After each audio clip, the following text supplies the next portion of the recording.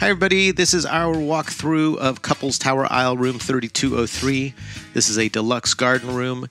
These rooms are great. Uh, they're very clean, they're very well ma- maintained. However, they are a little bit older. Um, I think they will be getting a refresh here in a few years, uh, but they're still great rooms. It's just that you you can tell the age in some of these rooms. So I'm gonna do a quick 360 of the room, um, and then we'll get into a little bit more detail. So it's a decent sized room. See, there's a big mirror there behind the door. There's another mirror here with a shelf below. I know Annalise really likes that because she can set up her makeup there. Little sitting area, a desk, a little chair. There's um, nightstands on either side of the bed. So this is the closet. Got the safe. Got those two robes that you're more than welcome to use when you're in the room. If you really like the robes, they do sell them um, at the gift shop. Uh, good sized closet. Interestingly enough, the thermostat is in the closet. So if you have this room, that's where your thermostat is. Iron, ironing board. There should be an umbrella in the room also if you need to use that. If it's raining when you're going to dinner, or if you just need to use it because it's raining.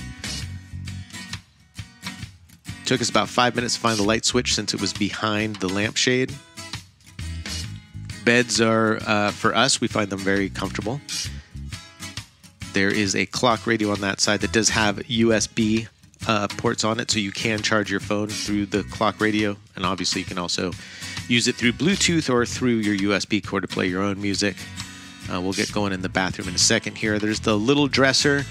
They do provide you with these reusable plastic water bottles for water. There's filtered water throughout the property. Um, here is their the little bar setup. Also has a little coffee station down below, and they will provide regular and decaf coffee as well as tea and sugar and all that fun stuff. And then down below will be the refrigerator, obviously, which they will stock. And then you can also fill out your bar card every night if there's uh, things that you want besides the typical staples that they um, stock every day. So, moving on, here's the bathroom. Uh, it's a pretty good size. It's not huge, but um, decent size. They do provide a hair dryer. They're a little underpowered, but they do work. It's got a little shelf under this mirror also. Um, and you can see here the shower. Uh, it's it's nice, it's clean, but it's a little dated and um, could use a refresh. They do provide uh, shampoo, body wash, uh, body lotion, as well as a little toiletry shower cap, uh, shaving kit, obviously soap. You can see it's got the makeup slash shaving mirror.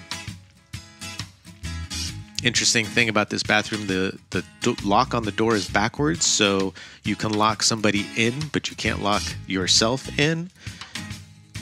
Here's the balcony. It's a good size balcony. This room it looks over the driveway coming into the resort, and there on the left hand side is the gift shop.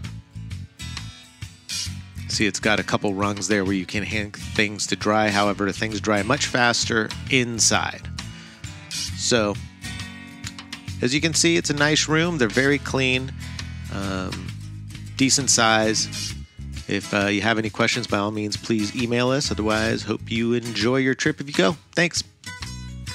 Hey everybody, thank you so much for watching. We appreciate it. If you like the video, video would be great if you gave it a thumbs up because that helps us out. And if you subscribe to the channel, we've been doing drinking video all, video videos all day, so we just thought this would be a good time to make an ending video. Cheers.